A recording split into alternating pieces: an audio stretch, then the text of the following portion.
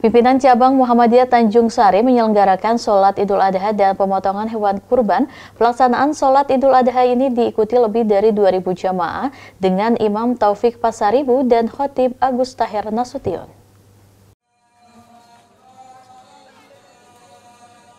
Pimpinan Cabang Muhammadiyah Tanjung Sari melaksanakan ibadah sholat Idul Adha 1444 Hijriah dan pemotongan hewan kurban. Pelaksanaan Idul Adha juga dilaksanakan di beberapa ranting di bawah cabang Tanjung Sari. Usai pelaksanaan sholat Idul Adha, dilanjutkan dengan pemotongan hewan kurban secabang Tanjung Sari sebanyak 46 ekor sapi dan 23 ekor kambing. Pemotongan hewan kurban selain berlangsung di perguruan Muhammadiyah Tanjung Sari, juga berlangsung di Ranting Padang Bulan, Ranting Pasar 4 Koserna, Ranting Padang Bulan Selayang 1, dan Ranting Flamboyan. Hatib Sholat Idul Adha Agus Tahir Nasution pada khutbahnya mengingatkan jamaah seputar tingginya kualitas iman dan takwa Nabi Ibrahim, Siti Sarah dan Nabi Ismail.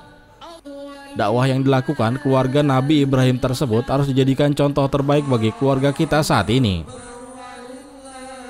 Agus Tahir Nasution juga menjelaskan proses haji, mulai dari umroh, tawaf sampai melempar jumroh di Jamarat.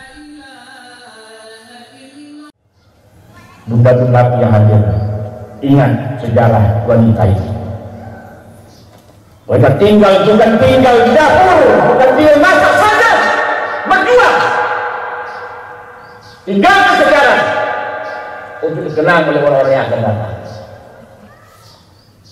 Hari ini jamaah haji dunia sudah kumpul di Arafah sudah berdiri jaminan melaksanakan rukun-rukun ibadah haji agar selesai pulang ke tanah air insyaallah menjadi haji mabrur.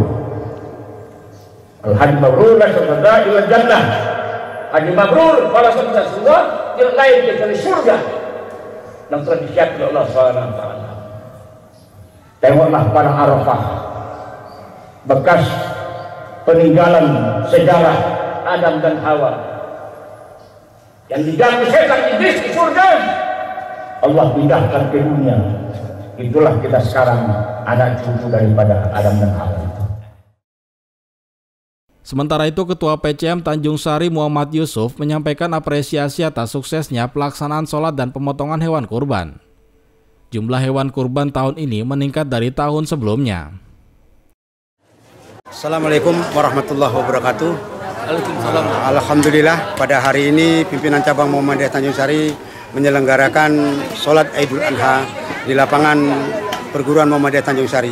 Alhamdulillah pada hari ini cuaca cerah dan kemudian para jemaah luar biasa lebih dari 2000 jemaah yang memenuhi lapangan sampai ke pelosok-pelosok gang-gang lapak sekolah itu dipenuhi oleh jemaah dan berjalan juga dengan baik. Alhamdulillah pada hari ini juga akan dilaksanakan atau baru dilaksanakan ini pemotongan hewan korban. Kemudian di Tanjung Sari ini kita mempunyai enam ranting, dua ranting kita bergabung di cabang. Ada satu ranting yaitu ranting PB Selayang satu itu menyembelih 11 ekor lembu. Nah, 11 ekor lembu itu satu ranting di ranting PB Selayang satu. Kemudian ranting Padang Bulan Pasar 5 itu menyembelih 5 ekor lembu dan 3 ekor kambing. Kemudian ranting Poserna juga menyembeli lima ekor lembu dan ditambah juga dengan tiga ekor kambing.